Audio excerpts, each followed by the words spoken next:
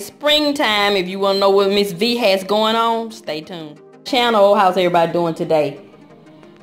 In today's video, I have an open invitation for a collaboration, for a challenge. Yes, a spring challenge. It's time to decorate. It's time to put up those um, winter items and pull out some spring items like succulents.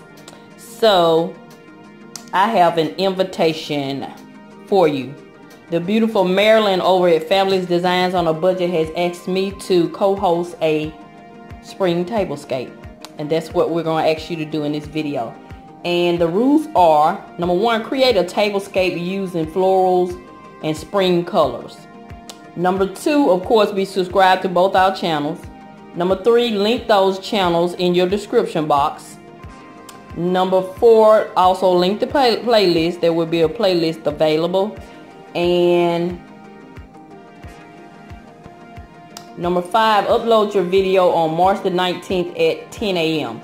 And the title of the video should be Spring Tablescape 2020. Let's use the hashtag hashtag Spring Tablescape 2020. So if you're I hope you're you are as excited as I am. If you're going to participate, let me know in the comment section. And so I can't wait to see what everyone comes up with. So there are all types of tablescapes you can do. So I think I'm going to do something a little different in this video. So that's it. That's all I have for you today in this open invitation. And I want to go ahead and thank Marilyn for asking me to host.